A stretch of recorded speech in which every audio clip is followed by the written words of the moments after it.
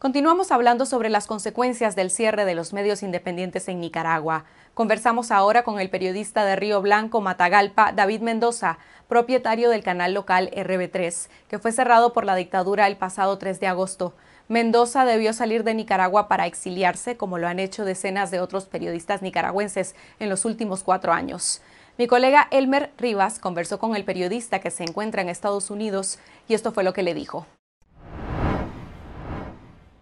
David Mendoza, gracias por conversar con nuestra audiencia. El pasado 3 de agosto, el Instituto Nicaragüense de Telecomunicaciones y Correos Telcor canceló el funcionamiento de tu canal RB3 en Río Blanco, Matagalpa, y hace unos días anunciaste tu exilio en Estados Unidos. ¿Por qué tomaste esta decisión?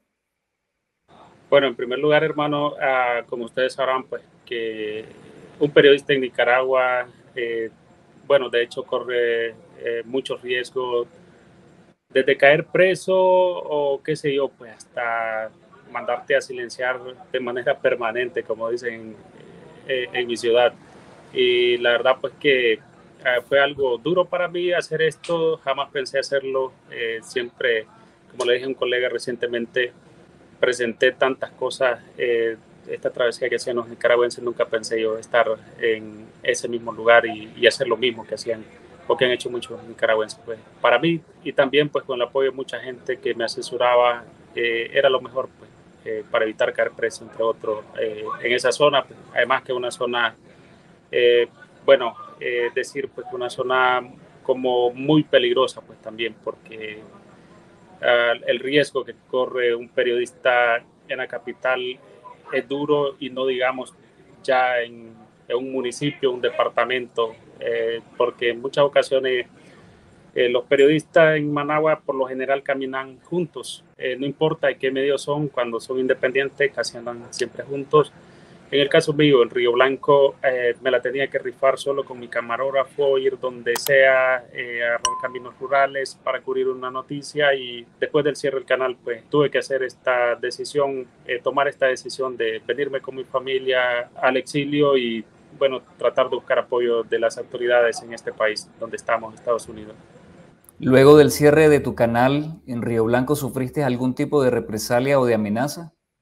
Es que siempre, hermano, eh, en el caso de mi trabajo, siempre ha sido como un trabajo eh, muy duro desde que empecé el canal en, Río Blanco, como lo dije en el en vivo, cuando cerraron el medio, específicamente fue el 2 de, de agosto. Eh, de este año 2022 el cierre del canal y este, y este medio, pues de que empezó secretarios políticos, funcionarios del gobierno, siempre buscaron la manera como censurarnos, pero algo que eh, gracias a Dios pues nunca lo lograron porque yo siempre decía pues esto es eh, la voluntad de Dios, donde, a donde Dios nos llevó, pues yo me quedé impresionado porque vengo de una vida dura desde, desde niño, vendedor de la calle en mi pueblo, tortillas, entre otros, pues que hacía cuando era un niño, caminaba descalzo y llegar hasta donde eh, Dios me llevó, pues eh,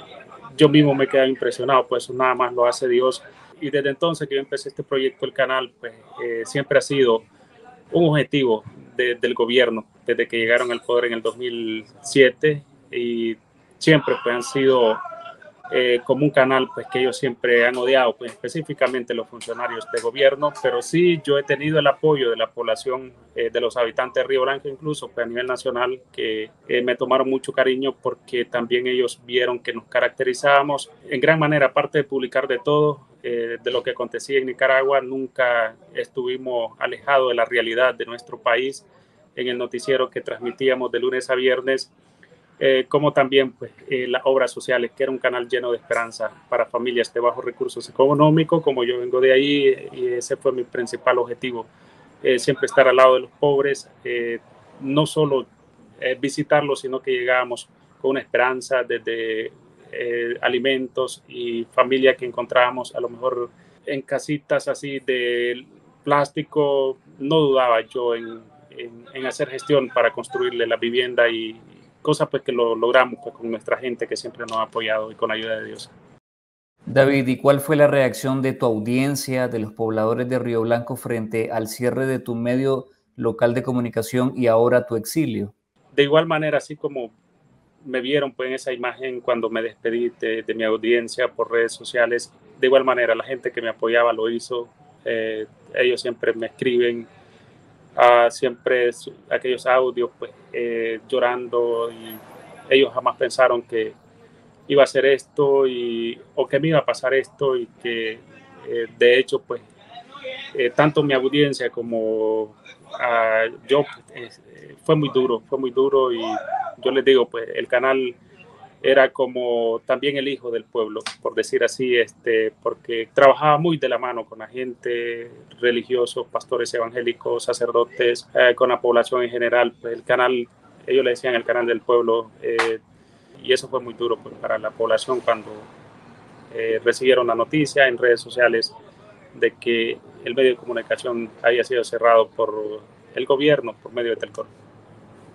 Como vos decís, cubriste noticias de contenido social, de tipo político, humanitario, durante estos 18 años. ¿Cuáles son las principales preocupaciones de los pobladores de Río Blanco frente a la crisis sociopolítica que vive el país? Río Blanco ha sido un pueblo opositor 100%. Como se lo he dicho a mucha gente, pues eh, la alcaldía la tiene el gobierno porque se la asignaron, no la ganaron. Y viéndolo desde esa perspectiva, pues porque sí, nosotros tuvimos prueba para ese entonces, que cuando le asignaron la alcaldía, y, este, y la población, pues ya con esta situación del 18 de abril, pues se vio incluso pues de gente de ellos pues, eh, en contra de su mismo gobierno. Yo me caí impresionado porque en mi ciudad, pues la ventaja que tenía, que yo conocía casi el 100% de la población y no digamos pues la población hacia nosotros y de hecho pues la población pues solo esperan una esperanza, un milagro de parte de Dios, que esto pueda cambiar pronto, porque la situación, eh, tanto en Río Blanco, una zona muy ganadera, el 80% eh, de, su, de, su, economía, antes, una semana antes que saliera de esa zona, pues, el robo, la inseguridad es enorme, eh, es enorme y aparte lo político, dos bajas grandes que le hicieron a a la venta de su ganado y, ellos dicen, pues, no hay esperanza. Ahora nos han tocado hasta nosotros, pues, los productores. Y ha sido muy duro, pues, un momento de reflexión de la gente que, que les digo, a diario ellos eh, oran para que Dios pronto haga un milagro. David, ¿qué ha representado para vos el cierre de tu canal y también ahora el desarraigo de tu país? Ha sido muy duro, ah, fue muy duro porque a pesar que yo no tenía mucha publicidad en el canal, que toda eh, la población pues muy bien afectada por la parte económica y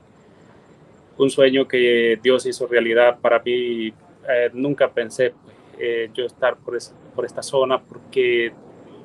no quería dejar no quería dejar caer el canal pese a no tener pues anuncios para seguir sobreviviendo. me puse una meta, sin aquel entonces yo inicié con el canal con nada, no tenía nada ahora tengo un propio estudio de televisión. Voy a luchar, a lo mejor algún día, como dice la gente, Dios hará un milagro. Y eh, esperando ese milagro, pues también yo, para no separarme de mi público que siempre ha apreciado mi trabajo, eh, yo decidí también arriesgarme, porque yo siempre lo he dicho, eh, soy de los pocos periodistas que me quedé en el país informando de todo, a diferencia de muchos incluso de ustedes, pues que publican de todo, pero no están en Nicaragua. Yo publicaba de todo en mis redes sociales, en el canal. Nunca cambié mi, perfil noticioso. Yo siempre sacaba la realidad de lo que acontecía en nuestro país.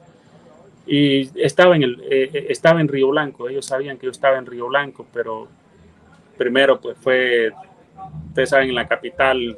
fue como el ojo del huracán. Y recientemente pues fue Matagalpa, donde cerraron las radios Monseñor Rolando Álvarez el primero de agosto y eh, al siguiente día pues, fue el canal RD3, el canal de la zona láctea, el proyecto que jamás pensé que llegaría al cierre pues, por el mismo gobierno para este medio de comunicación, donde también ellos en muchas ocasiones era el canal más visto eh, localmente y ellos siempre me llamaban, David, necesitamos que entreviste a un diputado, necesitamos que entreviste a un ministro, al final pues ellos mismos estuvieron involucrados pues para que eh, el medio de comunicación eh, fuese clausurado eh, en coordinación pues lo hicieron este, con el mismo gobierno central. ¿Cuál es tu mensaje a las miles de personas que te vieron y se informaron con vos por muchos años en Río Blanco. Si tengo la oportunidad, algún día a lo mejor regresaré nuevamente a mi ciudad, al pueblo que siempre amaré, al pueblo que me vio triunfar. Ellos me conocieron, pues, conocieron mi historia, eh, desde niño, eh, conocieron la historia de que, por ejemplo, eh, pude escalar, llegar muy lejos en este trabajo periodístico. Y la verdad, pues que de hecho, pues a mi pueblo le digo, paciencia,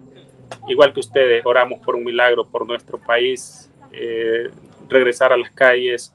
de mi país, cubrir la noticia, estrechar pues aquel, aquel lazo de amistad muy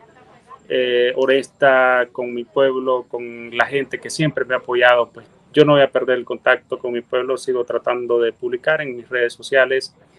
para que ellos se sientan pues eh, de que siempre estamos activos y vean pues que siempre yo estoy muy al pendiente de usted, al igual que ustedes lo han hecho conmigo.